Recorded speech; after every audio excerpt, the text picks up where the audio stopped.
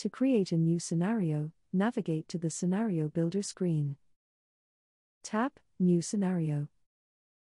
Then provide a scenario name and description to help you remember what the scenario will contain.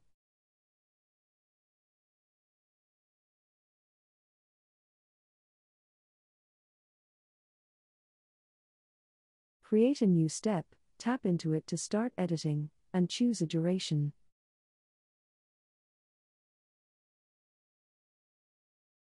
In our example, we choose a duration of 2 minutes.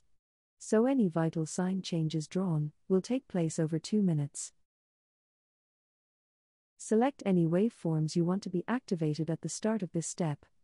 Waveform changes always take place at the start of a step. Next, select any parameters that you want to change during the scenario. Tap the parameter to activate drawing mode. While in drawing mode, the y axis show the value of the selected parameter, and the x axis is time. Tap once to draw a single line across. In our example, a heart rate of 100 is set, and doesn't change, throughout this step. Systolic and diastolic values are also specified.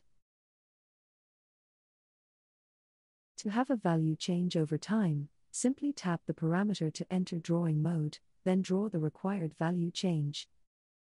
In our example, heart rate increases from 70 to 140 over 1 minute, then remains at 140 for the rest of the step. Build your scenario by adding additional steps. You can also duplicate an existing step to quickly continue from the previously created step. Draw any parameter changes, and select any waveforms you want to activate in this step.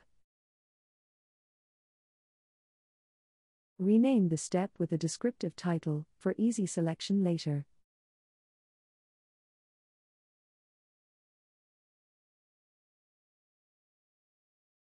Drag the SFX or investigations icons onto the timeline to have a sound effect play, or investigations to appear at this time.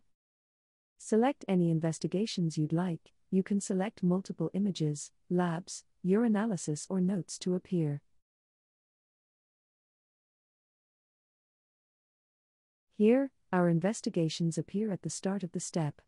Drag the tile to change the time they appear at. If you have lots of scenarios that you want to organize, use folders. Create a new folder and rename it.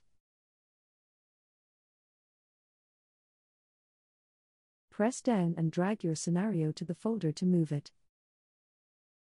Your folders, along with any scenarios you create, are automatically synchronized with your cloud account for use on any of your logged in devices.